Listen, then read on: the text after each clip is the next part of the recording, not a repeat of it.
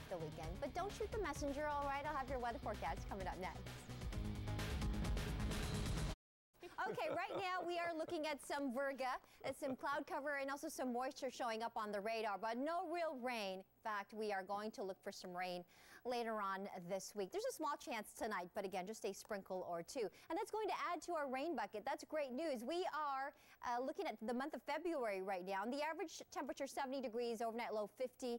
And uh, as far as rainfall total wise, uh, we are the wettest month February out of the year, and we generally get about 3.68 inches. And guess what? Right now we're about two and a half inches above the average. So we're doing pretty good so far this year. We've got this little system that's just off the coast, and it's really just pushing in some low cloud cover. Not much uh, energy with the system right here. Certainly not like what we saw a couple of weeks ago. We are watching one other system that's uh, out in the Pacific right now, and that is going to be bringing us a little bit more measurable rain. You can kind of see it here spinning just off the coast, and that will be bringing us rain as early as Thursday night into Friday. Some light prefrontal showers, and I think the main rain band will be moving in Friday night into Saturday. So happy Groundhog Day. Today, Punxsutawney Phil came out and saw his shadow, so that will mean six more weeks of winter, whatever that means. He's always wrong.